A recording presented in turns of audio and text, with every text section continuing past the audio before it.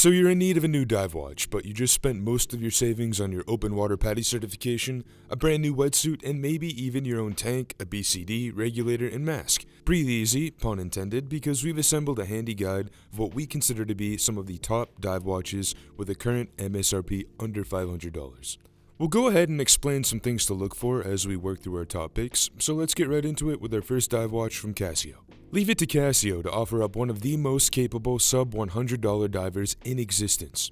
The Casio Duro Marlin is a cult classic that continues to gain fans since its release circa 2011. Great quality control and attention to detail are the Duro's calling cards.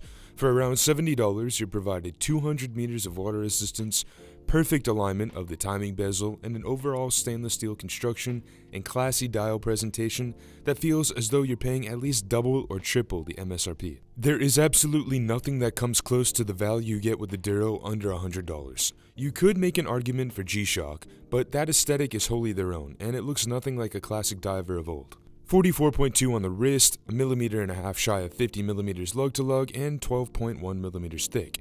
Certainly not the most compact diver we've seen, even if it has vintage sub-like cues, but the wearing experience is overall really pleasant, especially on our wrist just shy of 8 inches. We spoke about quality control and attention to detail, and here's what we meant. We get hands on with a ton of watches, and take it from us, most budget dive bezels are a swing and a miss. Problems with the rotation, slippage, misalignment. The Duro has none of those, and feels like something you'd easily pay a few hundred dollars for at the very least. The case finishing is largely all highly polished except for a touch of fine brushing on the top of the lugs. A screw down crown at the 3 protected by a pair of crown guards does a very nice job without any discernible problems with its operation, and the bezel sports thick grip points to easily control timing with ample grip, even with a pair of gloves if need be. The jet black dial is sparse, but it's set with lume indices and a sword shaped handset that glow a rich shade of aqua blue in the dark. Above the 6 is the Duro's Marlin logo that adds a bit of playful charm to an otherwise sophisticated presentation. So kind of a tangent, but oddly enough, laid-back Microsoft billionaire Bill Gates is actually a huge fan of the Duro. Safe to say he's not well known for his diving acumen, but his choice here does speak volumes. He's taking meetings with some of the most powerful businesses around the world with the Duro strapped to his wrist, and honestly, the Duro's highbrow aesthetic lends itself to doing so. You could totally keep this on in any white collar environment and not feel like it's misplaced in the least. Alright, perhaps we'd opt for the stainless steel bracelet in that situation, but you get the point. Securing the Duro to our wrist is a standard 22mm rubber dive strap, but would also look killer in a Tropic variant, a NATO of some form or fashion, or even the right leather strap. On paper, the Orient Kamasu diver has a lot going for it, considering the price point just north of $250. Sapphire, screw down crown, an in-house movement, a 120 click timing bezel, a dependable 40 hour reserve, and 200 meters of water resistance. So we were extremely excited to get hands on to see just how well it performed. Frankly, we were blown away by just how well built the Kamasu really is. The full stainless steel 40mm case is well finished, it's classically shaped, nicely proportioned with a moderate 47mm lug to lug, and a highly wearable 12.8mm thickness, taking into consideration the timing bezel. So before we dive any deeper, yes, pun intended again, let's briefly discuss water resistance. Long story short, when you're considering a dedicated dive watch that's capable of actual diving, you're going to want at least 200 meters of water resistance. Now, some folks just like the aesthetic of a diver, but may be landlocked in the Midwest somewhere, and hey, more power to you. So not much of a concern, but if you do actually find yourself below depth on the occasion, make sure you pick the right diving companion. Anyway, Orient used the barracuda, a fish that hangs out in the warm waters closest to the equator, known for its ferocity and razor-sharp teeth, to design the Kamasu. Sharp is the name of the game here. Under the sapphire, the arrow and sword-shaped handset is razor sharp, as are the framed indices, all inset with plenty of lume that glows a shade of seaweed green, and the highly polished frame of the day date at the 3. Plus, the Barracuda's small scales are highly reflective and almost give the slender Predator a metal-like finish, all the frame dial elements on the Kamasu clearly look the part. We just spoke about bezel alignment when discussing the Casio Duro, and the Kamasu impresses here again, with spot-on accuracy as it ticks counterclockwise around the dial, and does so with 120 clicks, a rarity among budget divers of this price tier. The bezel, as well as the dial, if you look closely, sports a fine textured matte finish that adds to the overall complexity of the watch's visual presentation, and it makes it feel all the more premium. You may not know that Orient actually manufactures a lot of their movements in-house, and the Kamasu builds in one of their own, the automatic F6922, with hand winding and hacking seconds. The movement provides decent accuracy and about 40 hours of power. Now, not that the bracelet is bad in any way in particular, it isn't, just to be clear, but what is clear is that this is where its price point does start to make a bit more sense. It's just not as special as the case in any way, shape, or form with a clasp that feels a bit wobbly and thin when opened up all the way, but it balances this out with plenty of micro adjustments to help dial in the right fit. Again, very minor critique, all we're saying is that it's very average and just seems a touch misaligned with the overall attention to detail exhibited with the case. Using archetypal watches as his panoptic inspiration, Dan Henry continues to breathe new life into the watches that he designs. As a well regarded watch collector, scholar, and now watchmaker himself, Henry offers up one of the best microbrand dive watches under $500 with the 1970 automatic diver, ours here in 44mm. At first glance, the 1970 is a clear amalgam of retro references. We're seeing a vintage IWC Aqua Timer, we're seeing some Longines Legend Diver, throw in a little rarity with a Wittenauer vintage super compressor, add some color, and hey, you'll come damn close to what Henry has offered up with the 1970. Interior bezels were a product of the late 60s and early 70s, when the scuba diving sport quickly gained steam fueled by figures like Jacques Cousteau. Watchmakers raced to make the most capable diver, and one method of doing so was to scrap the exterior bezel and instead build it into the interior of the case itself. So instead of the 1970 having one screw down crown, it has two. The topmost at the 2 o'clock actually controls the bidirectional rotation of the inner timing bezel, and the 4 o'clock controls the handset and the date at the 3. 44mm of 316L on the wrist, 50.5mm lug to lug, and a hefty 14.8mm thickness. Not totally unforgivable or at all surprising for a diver with an internal bezel, which does add a few millimeters of thickness to the case. But there does also exist a 40mm unit of the 1970 for anyone who's looking for smaller overall proportions. One having a far more compact 45.7mm lug to lug, but still just as thick. A mix of high polish and brushing graces the main case, and we like the added texture on the front sides of the crowns that feel almost like the crisscross supports of an old brass diving helmet. Speaking of, the engraved case back rocks an octopus sporting just the helmet that we're speaking of. Check it out. Under a subtly curved sapphire, the dial packs in plenty of depth with its applied elements, most of which are covered in luminova, as is the chapter ring and the inverted triangle on the inner bezel. We do wish the numerals on the inner bezel came lumed up as well, but it doesn't much affect the functionality since the chapter ring has fixed numerals that glow plenty bright. Inside, Dan Henry uses a very reliable and widely utilized Seiko NH35 that you'll have absolutely no issues getting service for if anything does happen during your time with the watch. The 200 meters of water resistance keeps everything within the case nicely protected, so feel free to bring the 1970 on light dives. We love that the 1970 comes with a period accurate tropic style strap, one made popular by Swiss venture Vulcan in the 1960s.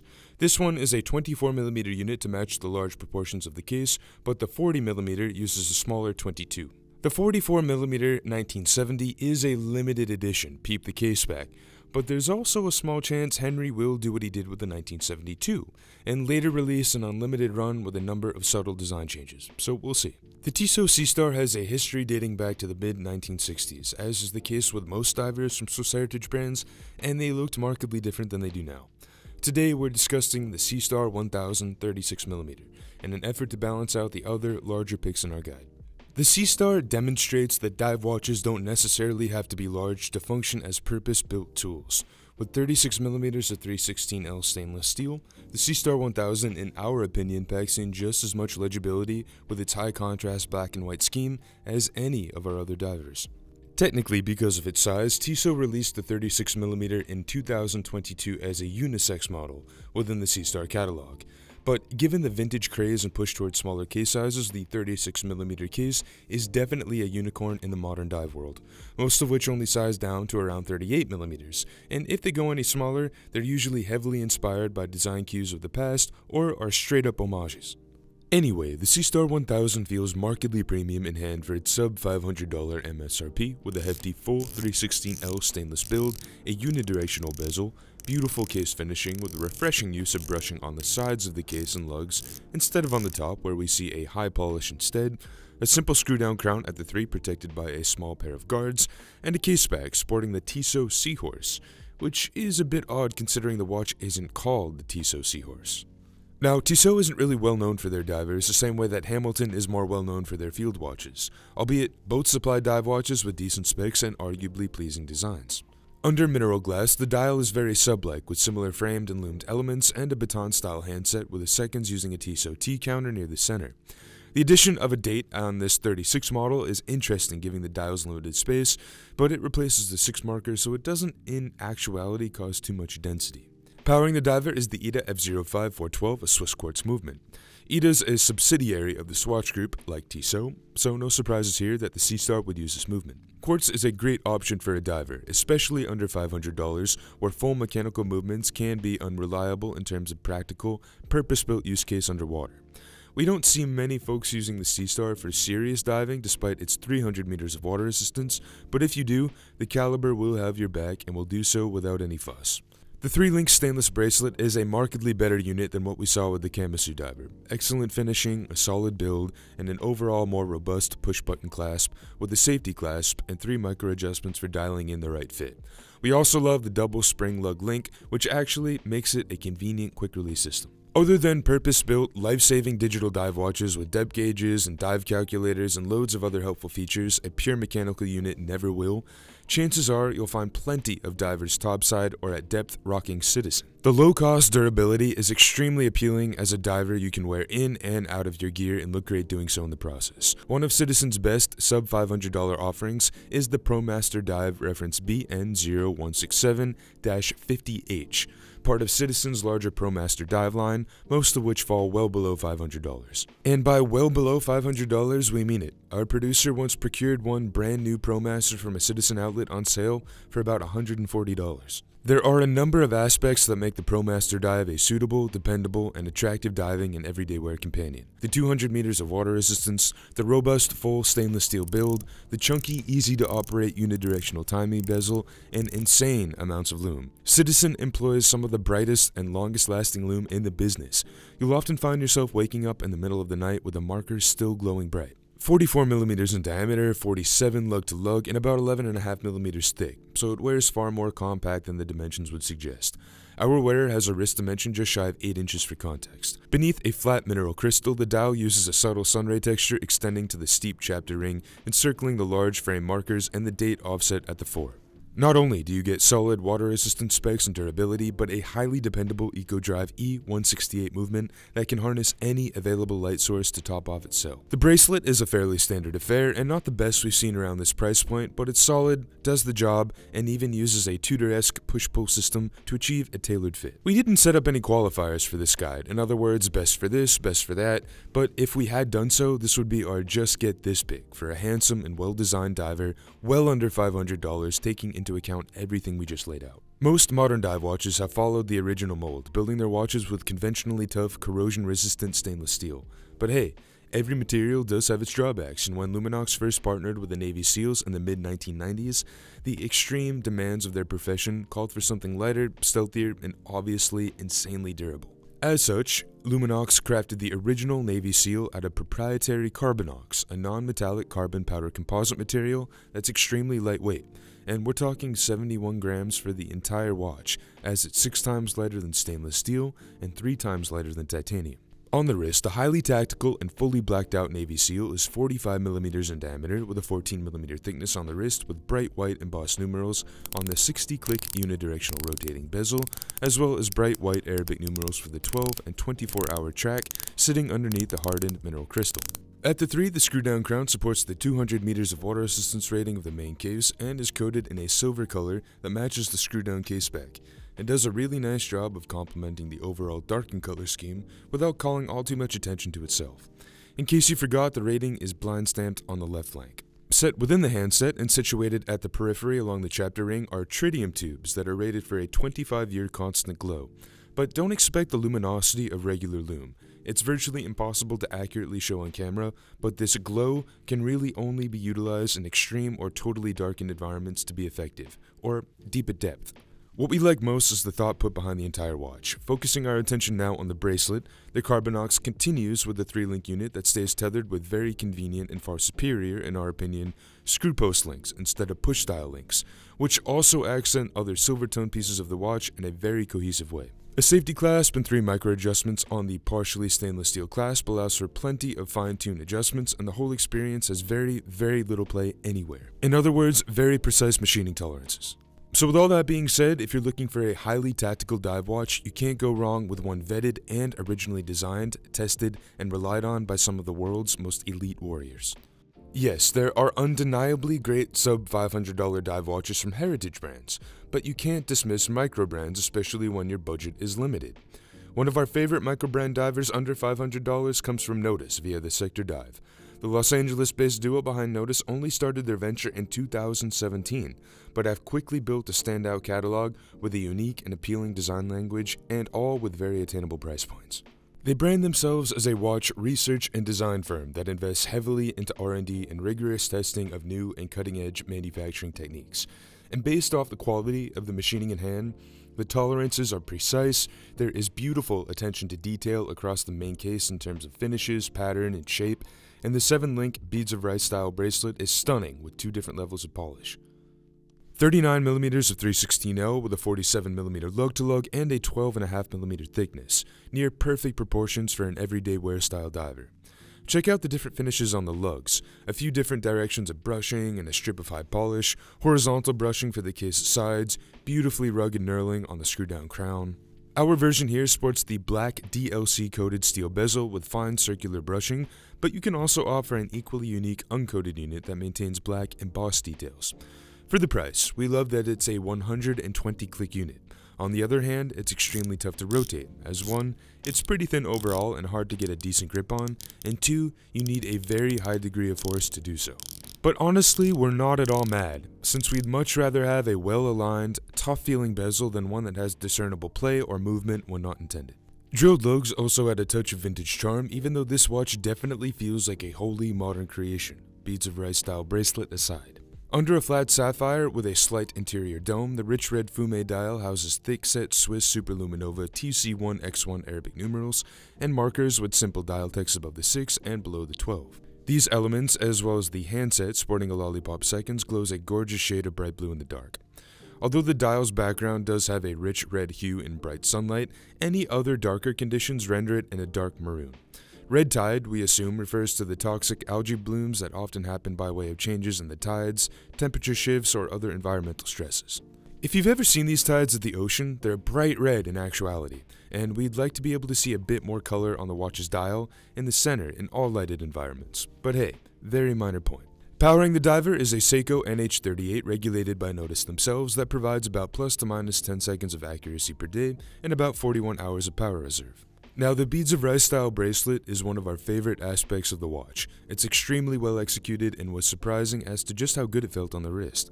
The outer links use a fine brushing, and both contrast and frame the five highly polished central links, which are all held together with screw pins, a very welcome component here for easy adjustments. The clasp mirrors the shape, curves, and finishes of the lugs and sports three micro adjustments for dialing in the perfect fit.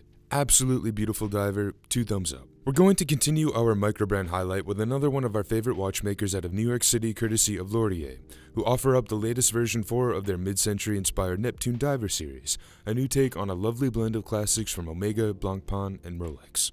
Hovering right around $500, Lorier offers up very similar watches to that of Baltic, another microbrand with excellent divers you should also look toward if you're a fan of the mid-century diving aesthetic. Our recommendation would be to look towards the Aquascaphe, which offers a palpably similar design and specs in the same ballpark. Anyway, the Neptune Series 4 builds upon the Series 3, shocker, and made a few subtle changes including a revamped acrylic bezel insert within the 120 click stainless steel bezel, slightly shortened lugs, thinner bracelet lengths, and repositioned lug holes, all based on user feedback. 39mm case width, 10.3mm thick with a 2.4mm domed crystal and about 46mm lug to lug of pure 316L stainless steel. We love the overall large proportions of the screw down crown. It's large in proportion to the main case, and that's a build characteristic of older divers that nowadays is becoming increasingly rare to see. Looking at the watch from the side, and you'll see the Neptune's highly domed Hesalite crystal, which only further adds to the period accuracy, and it renders the dial underneath with some interesting qualities when it's viewed off angle. The dial is packed with vintage charm, gold framing, thick bubbly indices applied with BGW9 Superluminova, and extremely classy gold set text above the 6 and under the 12. The very next thing you'll notice is the smooth sweep of the seconds made possible by the Miyota 90S5 automatic movement that sports a beat rate of 28800 BPH, something very hard to find at this price point. One observation, we did notice a fair bit of rotor noise, so if your hearing is particularly sensitive, this may not be the right choice. The redesigned bracelet is essentially just a thinner version of the Series 3, with slightly rounder chamfers and convenient screw post links, making it incredibly easy, combined with three micro adjustments on the clasp, to dial in a solid fit. Absolutely beautiful watch. Now, on to our last sub $500 diver pick. Part of Seiko's Prospex line, short for Professional Specifications, the Seiko Prospex SRPE99 PADI Edition, also known as the Seiko Turtle PADI Edition, is a purpose-built diver for the Professional Association of Diving Instructors, the world's leading organization for scuba training. The rounded cushion case shape is what prompted fans of the Seiko Prospex diver to name it the Turtle, as it takes on the shape of the aquatic reptile shell. At 45mm in diameter with a 47.7mm lug-to-lug and a 13.4mm thickness, the PADI Edition builds off the framework of the classic Seiko Turtle, another truly fantastic diver under $1,000, with a full brushing across the top of the case, a beautiful blue dial decaled with the PADI logo, and the addition of a Pepsi-colored unidirectional timing disc. For anyone who's worn a Japanese diver and they have shared character traits, you'll find that most chunky divers actually wear smaller than the paper specs would have you believe. It's because of the stout lug-to-lug. Citizens the same way.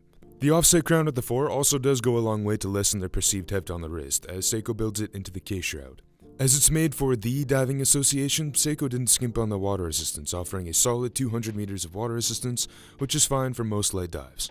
The OG Turtle employs a jet black dial with white indices. Seiko swapped that and chose a bold oceanesque blue with a decent amount of reflectivity for the PADI edition. At the 3, above the crown, there's a bright white unframed day-date window and the slope chaptering on the periphery uses red accents instead of white. Obviously, one of the best aspects of any dive watch is the lume, and the PADI edition has it in spades. Check it out. Inside, Seiko employs the in-house automatic 4R36. It's a very well-known and well-loved caliber for Seiko, with 41 hours of power and a beat rate of 21,600 bph. Its predecessor, the 4R35, is one of the most widely used automatic calibers at this price tier, so you can expect to see it again if you're looking at other Seiko divers. Seiko doesn't always offer steel bracelets, but for the PADI edition, you're in luck. For about $550, it's not anything fancy, but the 3-link brush unit does the job and it looks great on the wrist. So all in all, we think we made a pretty solid case that finding a great diver under $500 is completely doable. Of course, you just need to know where to look and what exactly to look for. So remember, water resistance is paramount, of course. At least 200 meters for diving, a screw down crown, a solid marine grade stainless steel or similar material with solid corrosion resistance, and of course, a design that excites. So as always, check out our editorial guide as well, and make sure to drop us a link with your favorite diver picks under $500 in case we didn't showcase your favorite.